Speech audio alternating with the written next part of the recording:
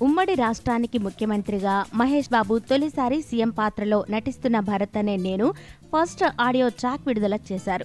విరచిస్తా నేడే నవశకం నినదిస్తా నిత్యం జనహితం అంటూ సాగే ఈ పాటను భరత్ విజన్ అనే పేరుతో రిలీజ్ చేయడం విశేషం. భరత్ పాత్రలోని ఔచిత్యాన్ని దానికున్న ఉద్దేశాన్ని చక్కని పదాలతో రామజోగయ్య శాస్త్రి అందించిన సాహిత్యం ఉన్నత విలువలతో ఉంది. బ్లాక్ మార్కెట్ని అరికట్టి అవినీతిని అంతమొందించే విధంగా మాటకు కట్టుబడి ఉంటారని చెబుతూ దిస్ ఈజ్ మీ ఇది నేను అంటూ చక్కని రిధంతో దేవిశ్రీ ప్రసాద్ ట్యూన్ ఫాస్ట్ బీట్తో ఉండాల్సిన సాంప్రదాయానికి భిన్నంగా మంచి మెలోడీతో ట్యూన్ చేయడం విశేషం. పాలించే ప్రభువులు సేవించే బంటులు అంటూ ప్రభుత్వ కర్తవ్యాన్ని ప్రబోధిస్తూ భరత్ అనే నేను హామీ ఇస్తున్నాను అంటూ పాట ఆద్యంతం డేవిడ్ సైమన్ గొంతులో చాలా ఫ్రెష్గా అనిపించింది. తెలుగు పదాలను ఎంతో పొద్దికగా అర్థవంతంగా వాడిన రామజోగయ్య శాస్త్రికి దీటుగా దేవి తన టాలెంట్ చూపించడం విశేషం. అట్టడుగున నలిగే కలలకి బలమివ్వని పదవులు దేనికి అంటూ అద్భుతమైన చరణాలతో ఆద్యంతం కట్టిపడేశారు. ఖైదీ నెంబర్ వన్ ఫిఫ్టీలో నీరు నీరు పాట ద్వారా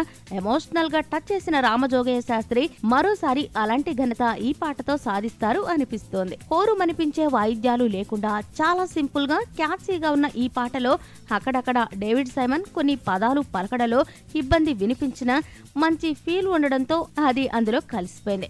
మొత్తానికి భరత్ విజన్ అంటూ వదిలిన మొదటి పాట అంచనాలు నిలబెట్టుకునేలా ఉంది అని చెప్పొచ్చు. బాధ్యతను ప్రవచించే పాట కాబట్టి దానికి తగ్గ తగ్గట్టు ఉన్న సాహిత్యం సంగీతం రెండు కూడా పోటీ పడ్డాయి.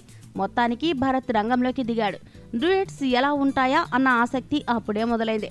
ఏప్రిల్ ఇరవై విడుదలకు పాతిక రోజులే ఉంది. కనుక ప్రమోషన్ వేగం పెంచనున్నారు. కొరటాల శివ మార్క్ సామాజిక బాధ్యత.